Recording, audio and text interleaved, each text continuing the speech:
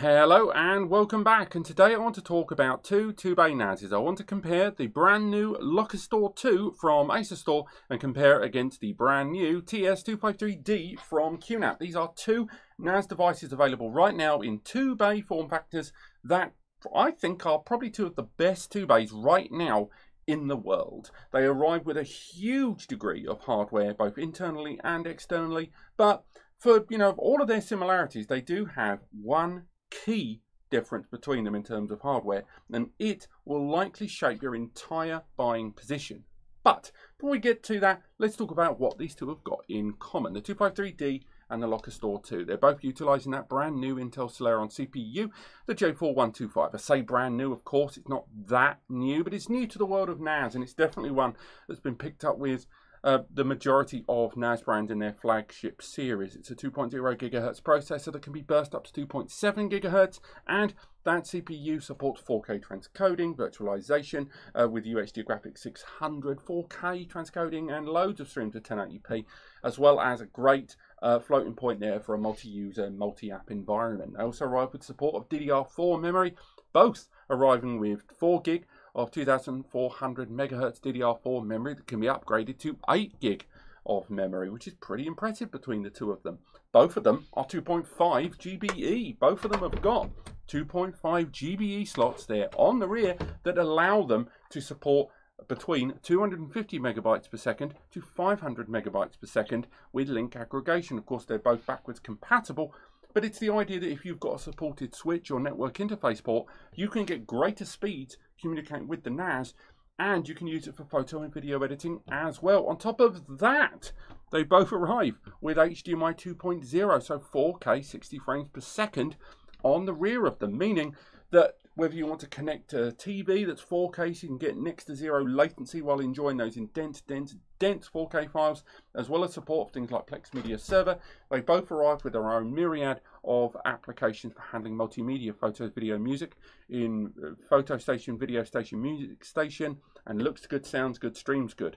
They're on the Nimbustor, uh, not Nimbustor, Locker store. I will stop doing that. So, they both arrive with support of virtual machines, but there is some difference between them on that. And they both arrive with support of surveillance, but there's some difference on that too. And they've both got support of uh, multi-tiered backup solutions from NAS to NAS, NAS to cloud, NAS to USB, and more. But as you will expect, there's a bit of difference between those as well. They've both got three years of warranty, and both of them are very, very good NASes. So how do you choose between these two? Well, there's a few key areas. The first one is software. Now, both of them do have their own high points in terms of software.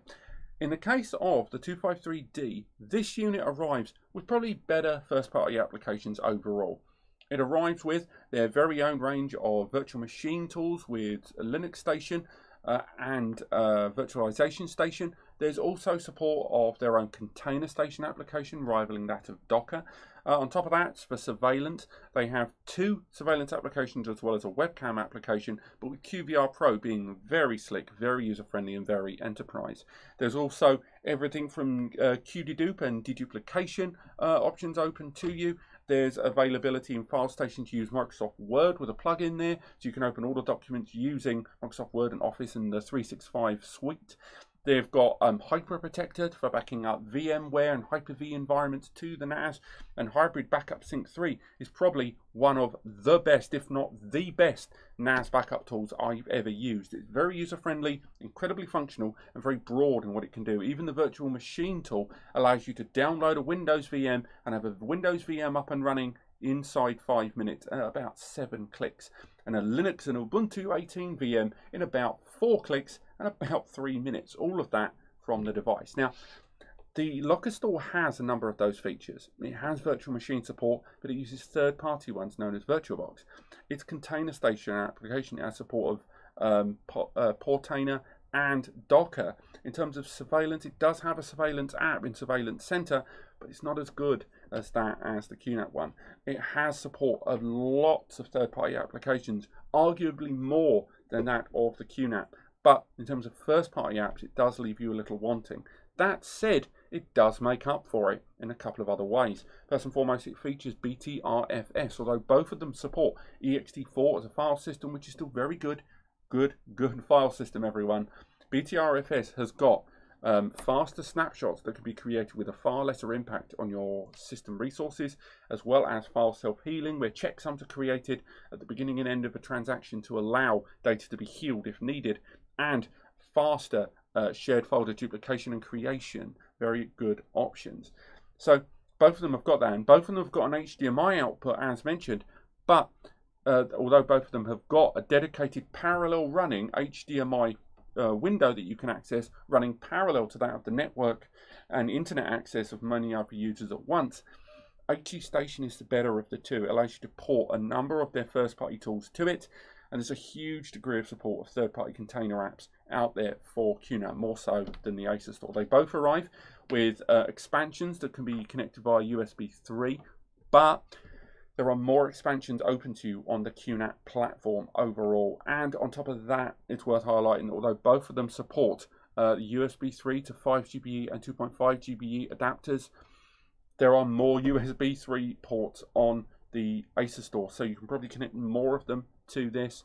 But in the case of the QNAP, and this comes down to the big difference between them, I think more than anything else, even more than the software, is the QNAP has that PCIe upgrade slot. PCIe Gen 2 times 4 allowing up to 1000 megabytes per second throughput for a card there. You can put 10 GBE, you can put NVMe SSD cache, SATA cache or combo cards that have both, thereby improving the performance of the system in its lifespan. But the Lockerstor has two NVMe SSD bays inside, which can be used for improved internal caching and improved performance of those file operations inside. That cannot be ignored. Because remember, you have to pay extra to get a card to do that. And if you want one that's got NVMe base, that's about 120. And if you want one that's 10 GBE on its own, that's about 100. If you want a combo card, that's like 170, 200 NICA. And these have already got the NVMe's built in. So if internal operation speeds are important to you, you may well already be drawn to this device because although you can improve those performance with the PCIe, you still have to pay extra to do that. And on top of that, it's worth highlighting, just to weigh things up on the other end of the scale, that if you do install NVMEs on an NVMe card inside this device, you don't have to use them just for caching. You can utilize them for raw storage, something Asustor still doesn't quite entertain at this stage. The idea that you can edit directly on superfast NVMe SSD is very, very useful and something that not a lot of brands, and I by not a lot, I mean only QNAP, seem to be doing as an option in terms of raw storage. And I think they're clearing up on it, but that's just what I see and hear. But in terms of build quality, you've got to give the Asustor probably the lead because as much as I like the QNAP uh, chassis, I'm quite keen on that chassis overall in all the videos that I've done. This is a nice metal solid chassis. There's metal trays. Um, this has that slidable front panel. And these trays are plastic in design. And again, there's screws there. And it's click and load trays to put a drive inside there. And it does support the latest um, a 16 TB Seagate Iron Wolf NAS hard drive. So up to 32 terabytes on both. The Lockerstor has got spring-loaded metal trays and a metal chassis, which again can be uh, mixed feelings between those two because I know some people don't really like metal chassis because it, you know, it makes a little bit more noise with enterprise grade drives. Um, and also, you know, they can get quite hot because of the metal being used for dissipation to a larger degree and plastic chassis needing more ventilation because of that lack of dissipation based in the um, plastic chassis. But that might be something that tips you towards the lockerstor rather than the QNAP. That build quality, that metal, very sturdy quality that's built into it. just know that metal chassis will generate more noise when they're up and running, so it's worth highlighting that earlier doors. But much like my Synology comparison, I've got to say that if you're interested in software, you're going to vibe more with the QNAP platform. Asustor's software, and particularly in the Lockerstor series, is still very, very good, better than it's ever been It's just not quite there yet. And this device asks you to leverage the majority of your budget. Oh, sorry, it's a 50-50 split on this between software and hardware. And the QNAP just seems to have better software overall. And probably a lot of the money you spend towards it goes towards that architecture. Not as much as Synology, and it's a lot closer between these two than it ever was between Synology and one of these brands. But there's still just a bit more polish and a bit more innovation in those applications overall, both the client apps and that of the desktop ones. And it's worth bearing that in mind. Let me know what you guys think. Which one of these two interested you the most? Let me know in the comments. Give me a little buzz there. Tell me which one you went for, which ones, you know, spiked your interest. Click like if you want to learn more. And of course, it lets me know I can make more of these videos. And click subscribe to be more attuned into when I next talk about the Lockerstor and the 253D. Buy your NAS from span.com. Visit me at NAS Compares, and I'll see you next time.